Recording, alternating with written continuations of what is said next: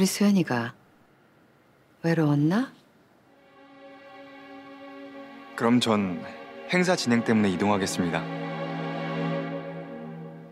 서. 내가 아직 가보란 말 안 했는데 직원 교육이 엉망인 건가? 대표 등에 업고 까부는 건가? VIP 의전 교육 매뉴얼은 회사 교육 안에 있을 거고 외로운 돈 많은 여자 마음 홀리는 매뉴얼은 어디에 있나? 최근 열애설 기사가 났었어요. 소문은 상대의 일방적인 스토킹이라는데 맞습니까? 어떤 사람입니까?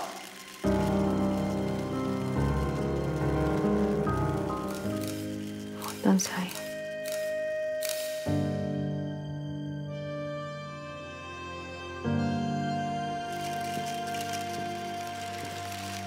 썸 타는 사이입니다. 잠깐 동걸로 하자. 당장 김 회장님한테 전화해. 아니 나랑 김 회장님 집으로 가. 같이 가서 빌어. 잠깐 정신 나갔었다고. 그거야말로 제정신이 아니어야 할 수 있는 거야. 정상적인 사람은 그렇게 사람 아닌 것처럼 못 살아. 내가 경고했지. 쓸모 있는 자식으로 살라고. 이제까지 쓸모 있는 자식으로 살았잖아. 이젠 나도 내 인생 살까 해. 어디예요? 저 지금 회사에요. 정리할 게 좀 있어서요. 잠깐 만날래요? 내가 내려갈게요. 지금 여기 홍보팀 다 있는데.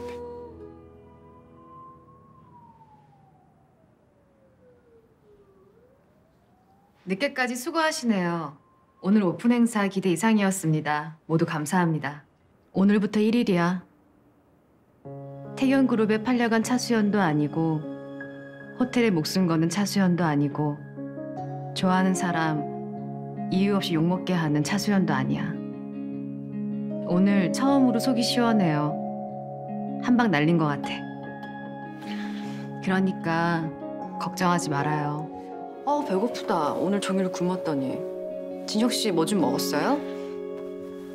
설마 또 오징어? 에이, 이번에도 박 대리님 협찬입니다. 지난번 오징어도 박 대리님이 챙겨준 거거든요. 매번 너무 고마운데?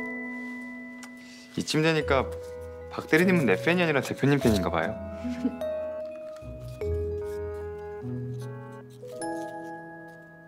반띵할 줄 알았습니다. 어, 배고파. 뱃속가요? 아니에요, 농담입니다.